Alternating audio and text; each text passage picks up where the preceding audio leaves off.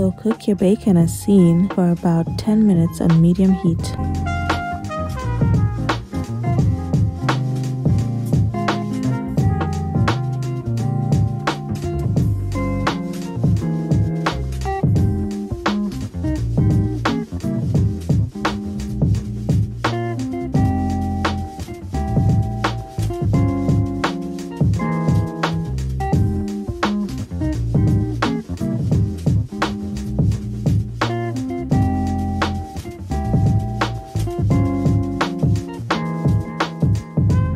Cook your beef patties in the same pan that cooked the bacon. This will enhance the flavor of the patties by adding that extra bacon fat flavor.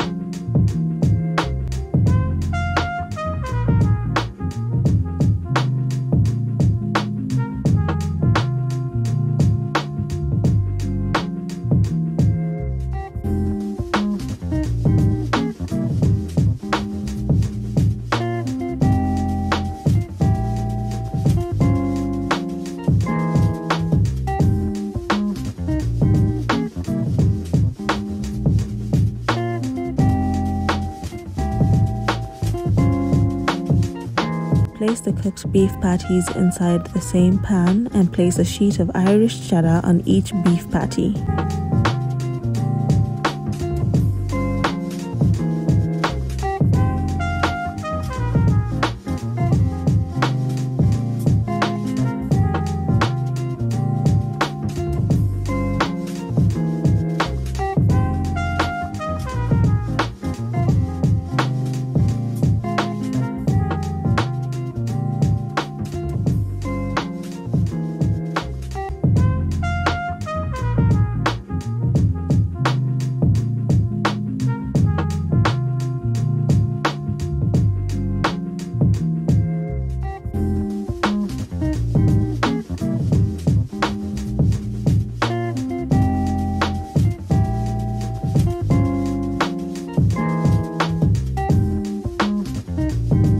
Toast your burger buns by placing some butter on your pan, ensuring that you do not burn the butter, and place your burger buns on top of the melted butter and cook until it turns brown.